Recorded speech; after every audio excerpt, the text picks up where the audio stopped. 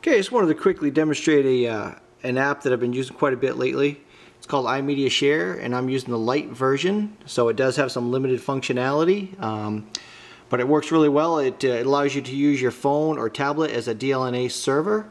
Um, these Sony tablets did have DLNA client functionality when we got them, um, but I want to be able to push content to my TV or my computer, uh, or basically, or between tablets you could even do.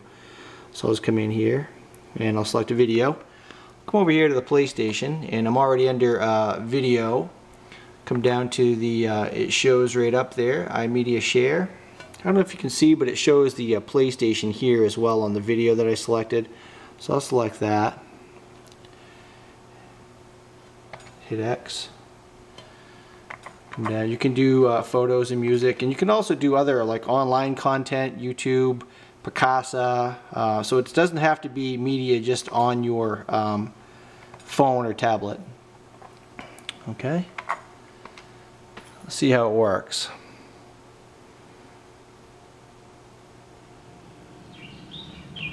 So that's it. So that uh, video is actually streaming from my tablet.